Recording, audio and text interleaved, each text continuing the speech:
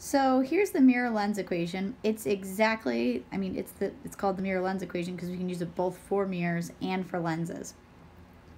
Um, just a quick reminder here. The S stands for distance. I know that's weird. Why do I teach it that way? Because the AP equation sheet has it like that. Okay, I don't I don't like it. but There we are. So this means distance to the object, 1 over distance to the object plus 1 over the distance to the image is equal to 1 over the focal length. With that focal length, please keep in mind that converging lenses have a positive focal point. Diverging lenses, diverging, have a negative focal point. That's the main thing you need to keep in mind. Okay. If you get a image distance with a lens that is positive, it means that your image is real. And you may have noticed this by now, but real images and lenses are going to always be inverted. So really when you solve, if you get a positive for your image distance, you're like, hey, it is both real and inverted. You could tell them right away.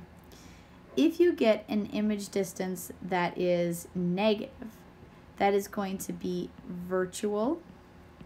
In other words, on the other side of the lens from the observer. And it is going to be upright. So this really tells you a lot. Can't tell you the height though, okay? So in order to that, we're always going to have to come back to using this, okay? Um, hi, ho. And I always think of it as d do because it's the distance, but it's SI over SO. And there's a negative here, okay?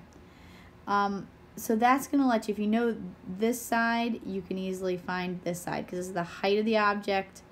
Um, this is, I'm sorry, the height of the image divided by the height of the object. You can also find the magnification because the magnification is equal to negative the image distance over the object distance. And you can also keep track of, you know, if you know your magnification, you can just, let's say your magnification is 2. That would mean it's twice as big. If you have trouble kind of thinking that in your head, and you want an equation for it, it's just the magnification, the absolute value of magnification, times the height of the object will get you the height of the image. That's kind of, I mean, a sketch of the mirror lens equation. It's pretty straightforward, plug and chugs. Um, so I hope that that helps.